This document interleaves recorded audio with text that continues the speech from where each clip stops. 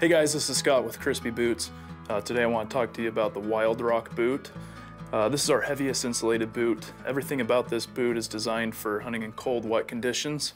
Uh, let's talk about the boot a little bit from the bottom up. So the sole of this boot is designed to shed moisture, shed mud, shed snow.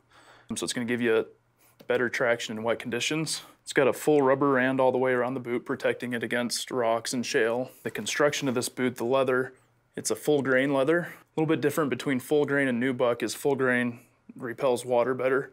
Over time, it won't absorb as much water. Working up the boot has our patented ABSS system, our ankle bone support system, which acts sort of as a memory foam. So when you lace this boot up, it'll actually conform around your ankle, providing ultimate support. Uh, this is a 10 inch tall boot. It's got 400 grams of Primaloft insulation built all the, all the way around the boot. And uh, it's the boot of choice for the guys hunting cold, wet environments and uh, late season hunts.